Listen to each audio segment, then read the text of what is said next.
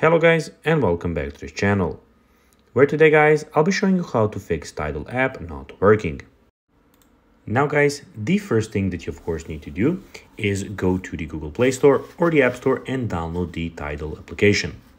Now guys, when you did that, you just need to go and log into your profile.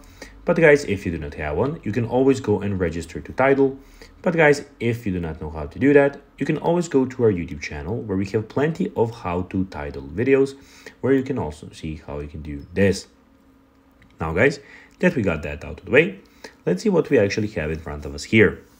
So guys, as you can see, here we have the official Tidal home screen where we can see some mixes and the recommended tracks for you or for me in this sake.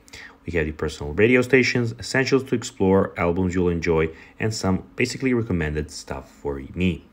Also here, we have videos where you can see some videos from the songs, so the videos from the songs. And here we have the search bar where you can go and explore by yourself. So you can go see some new thing, top stuff, and everything in one place.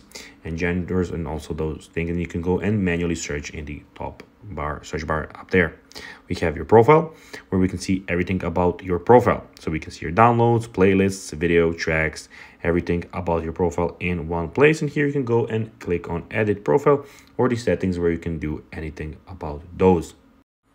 Now guys let's see how you can actually go and fix Tidal app not working well guys, to do so, you can go and delete the app and download it again. You can go and log out of the app and log in again.